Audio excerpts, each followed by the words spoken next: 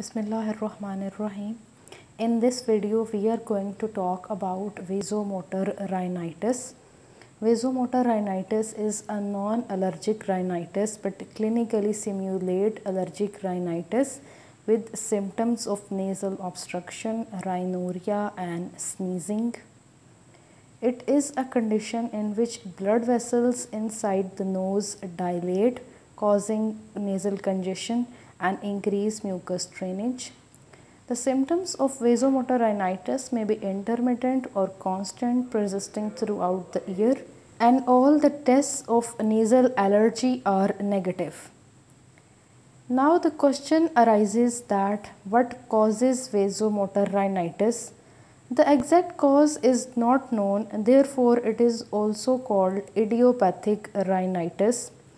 But there are certain factors which may trigger an inflammatory reaction including smoke, strong odors and environmental irritants like smoke, weather changes particularly dry weather, changes in temperature and barometric pressure, certain medications like aspirin, ibuprofen or beta blockers, strong emotions and hot and spicy food and beverages. Let's talk about the pathogenesis of vasomotor rhinitis. Basically, autonomic nervous system is unstable in cases of vasomotor rhinitis. As we know that sympathetic stimulation causes vasoconstriction and shrinkage of mucosa and parasympathetic stimulation causes vasodilation and engorgement of blood vessels. So in vasomotor rhinitis, there is overactivity of parasympathetic nervous system leading to excessive secretions and nasal discharge. Autonomic nervous system is under the control of hypothalamus, so emotions play a great role in vasomotor rhinitis. The patient will be having the following symptoms paroxysmal sneezing. Bouts of sneezing start just after getting out of the bed in the morning.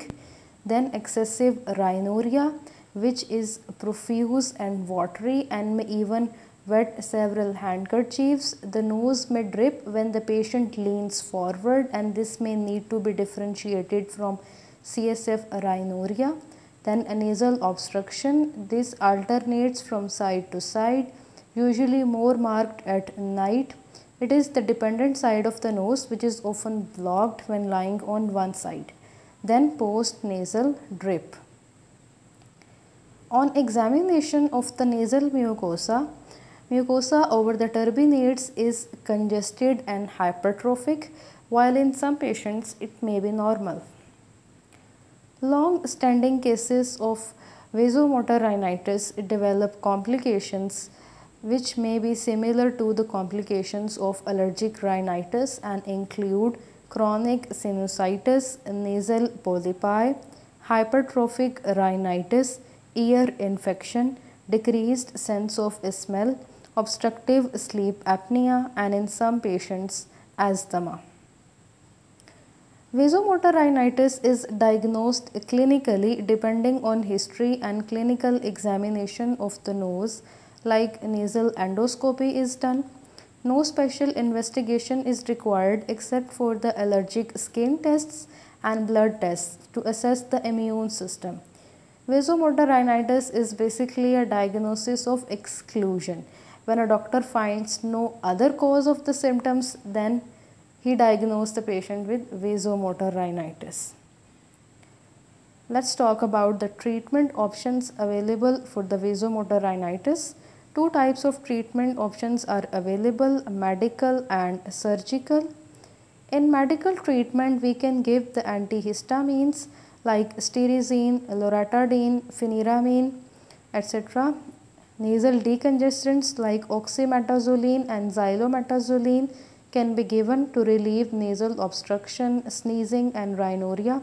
Topical steroids like Beclomethasone dipropionate, budesonide or fluticasone they are used as sprays or aerosols and are useful to control the symptoms. Systemic steroids can be given for a short period of time in very severe cases and psychological factors should be removed and some patients may need tranquilizers to treat the condition. In surgical, we have two treatment options. Number one is the reduction of turbinates to relieve the nasal obstruction and number two is the Vidian neurectomy. There are several methods for the reduction of turbinates. You can check these methods from my video on the topic of chronic hypertrophic rhinitis. Other associated causes of nasal obstruction, for example, polyps, deviated nasal septum should also be corrected. Then excessive rhinorrhea, which is not corrected by medical therapy and bothersome to the patient, can be relieved by sectioning the parasympathetic secretomotor fibers to the nose, which is uh, basically the nerve of pterygoid canal, also known as Vidian nerve. So the procedure is known as Vidian neurectomy. Then how to prevent vasomotor rhinitis? By the avoidance of physical factors like sudden change in temperature, humidity, blasts of air or dust. For example, by maintaining the constant temperatures in the house by using the humidifiers and other methods and with exercise or increased physical activity as there is sympathetic stimulation with exercise or increased physical activity and helps in preventing vasomotor rhinitis. Then the difference between allergic rhinitis and vasomotor rhinitis. In vasomotor rhinitis, there is no itching in the nose, itchy or watery eyes or scratchy throat as in the patients of allergic rhinitis. All allergy tests are negative in vasomotor rhinitis while positive in patients having allergic rhinitis. There is no seasonal variations in the patient of vasomotor rhinitis. Either the symptoms are intermittent or constant persisting throughout the year, while the patient with allergy may be having seasonal or perennial variations. That's all about today's video of vasomotor rhinitis. I hope you liked the video. Hit the like button Subscribe to the channel for more updates, share it with your friends and thanks for watching.